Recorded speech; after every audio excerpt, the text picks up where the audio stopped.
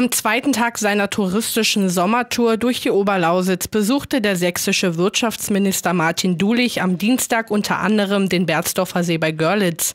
Neben der Präsentation von ersten erfolgreichen Ansiedlungen und Unternehmungen wurde er aber auch mit Problemen konfrontiert. Zu den großen Investitionen zählt die Insel der Sinne, das direkt am Wasser errichtete erste Hotel am Berzdorfer See, das erst vor zwei Wochen eröffnet wurde. Schwierigkeiten hingegen gibt es wegen der noch immer fehlenden Schiffbarkeitserklärung. Arne Mückert, Geschäftsführer der Com Wohnen GmbH, sieht dadurch die touristische Entwicklung blockiert. Die städtische Wohnungsgesellschaft betreibt den Seehafen und will in einer Umgebung eine Feriensiedlung errichten. Auch im Resort Deutsch-Ostsee geht die Entwicklung noch nicht wie gewünscht voran. Gastronomiebetreiber Ralf Richter forderte hier bessere Fördermöglichkeiten vom Freistaat Sachsen ein.